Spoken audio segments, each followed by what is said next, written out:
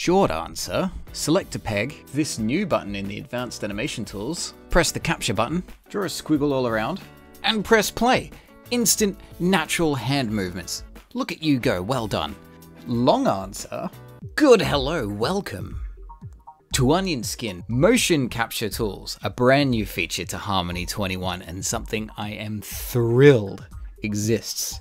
At last, a very, very easy way to get proper natural hand movements into our animations, particularly into our motion tweens. Have you ever tried to do something that looks like a natural movement before?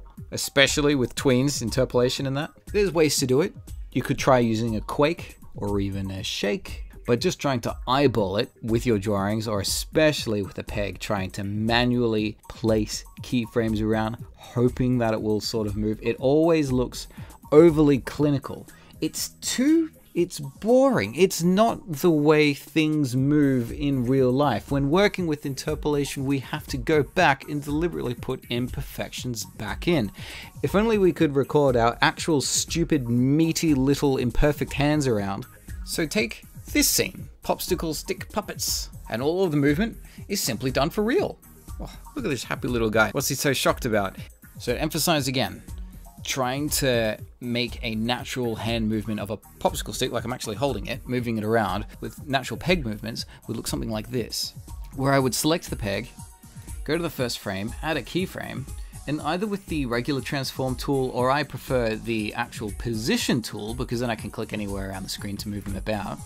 I guess start him at the bottom of the screen, come up to frame 9 or so, up he comes, and then every few frames I'll sort of just jostle him around a little bit like this and it's relatively fiddly going through each frame one at a time and then I highlight them all, press Control K to create the interpolation so they all connect together and I get this. Do you see what I mean? This is the clinical look and movement I'm talking about. But no, no, it just doesn't work. To pull it off is incredibly tedious. So let's just do it in one fell step, yes? For blank keyframes, I don't need to do anything, just have the peg itself selected. And along the top, animation tools. Remember, if they're not here, right click and go advanced animation to add them. There is a new one at the very end. It's got a little recording symbol on it, capture motion. If you select it, we then go over to the tool properties. It's got a couple of different settings, capture speed, 100%, keyframe interval 1. So if you set this to 2, then it would actually capture your movement in 2s, which can be pretty useful for a lot of scenarios. And the smoothing slider here will start to take away the imperfections of your natural hand to start to tie it all together, to start to smooth it all out, to bring it back to that place of sort of clinical movement, but hey, it's still much faster because you're doing it live, real puppeteering, right? So we press the capture button and we get a recording 0000. Then all we gotta do is draw. This line that we make will capture not just where we go around the screen, but also the speed. So if I sort of do a small drift around like this, and then if my hand suddenly juts out of the side really fast, but then I come back slowly, you'll notice that when I let go, the timer disappears. Timeline is filled up with tons and tons and tons of keyframes, and if I press play, we will see it captured.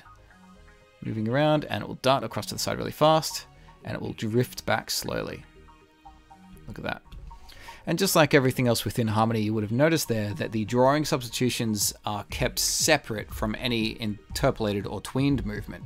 So down here is where the drawing substitutions will change from one to the flip, the other side, and hold. So that way I can shuffle these drawings around and have them switch from state to state anywhere I want along my movement. Really is as simple as that. Here's another example of where you'd want a natural hand movement. Someone holding a phone, right? A sort of selfie style. Great way to add a little bit of extra life if you are doing a scene that is just holding on a single character's face for a prolonged period of time. So this scene's drawn across three layers. The camera interface, the person themselves, and the brick wall behind them. Uh, these two here is just to create uh, that sort of black outline around the interface so you can still actually see it. So to set this one up properly, all three will need a peg with con with Control Shift P. I'm going to need a camera node for this one. That's what we're actually going to be using to animate the scene around, which is going to share its parent with the camera interface so that when I move that around, the camera always stays still in the middle of the scene, person moves around behind them. Uh, and from here, all I have to do is take this background layer and move it physically into the distance so that we get a bit of a uh, parallax effect like that. Uh, but remember, there is the secret resizing tool also along the animation tools uh, this with these two boxes here which will scale things into the background but also increase their size at the same time. So as that brick wall goes all the way back uh, it's going to get bigger. So from here it creates the illusion it looks the same size but it is further back there so this parallax effect is going to be quite strong now. Look at that.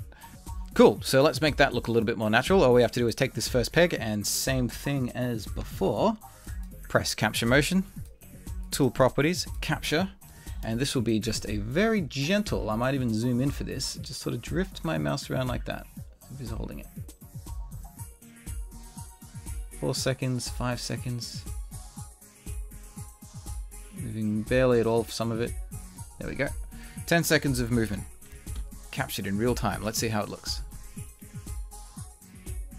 Hey, not too shabby, right? The key is to be subtle, of course. Because this is a character who is trying to hold their hand still, but eh, we can't really do that. Yeah.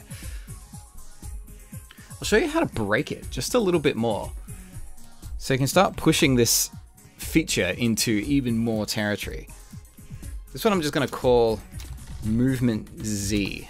I'm going to capture motion again, but this one I'm only ever going to drift my mouse a little bit to the left and right, like that. I might push it all the way across a little bit and then back again. That's going to look a little strange at first because now there's just going to be lots of left and right movement. Ah, but what we're actually going to do here is open up movement Z's parameters with the plus symbol. Down in the very bottom left, there's three little buttons. Press the one in the middle to expand the values. Now I was moving left and right, mostly, which is position X. So I'm going to take all of these keyframes here, cut those, and paste them onto position Z, which is forwards and backwards. So that same gesture I just did. Now we've got a little bit of depth in there as well. So you see it pulls it back a bit, brings it forwards a little bit. I need to be careful though, because there's a couple of occasions here where this clipping happens. This is actually the character physically coming too far forwards. They are in front of the camera lens. That's okay. I override it with a third peg. We're on frame one I use that maintain size tool again to just pull the interface really far forward so there's no way it'll ever cross over. So there we go. Natural hand movement, moving around and moving backwards and forwards. There we go. I'm starting to get carried away. There's a lot more tricks I want to show off, so please let me know if you want to see more with the motion capture tool, especially now that we've just started to break it a little bit, yeah? It's trying to take its values and apply it to other things. I've got I'm working on a couple of gadgets at the moment where you could try and use this to apply it to transparency or blurs and things like that. But it may only be worth my time if there's like a demand for it, so please let me know if that sounds interesting to you. Meanwhile, these two working files of the selfie guy and the whole theatre stick scene available to Patreons as always, so you can go grab those files, have a dig around. Please join the Skin Discord server so you can show off any of the experiments you make with the rest of our little community. Have some fun with this one. Bye.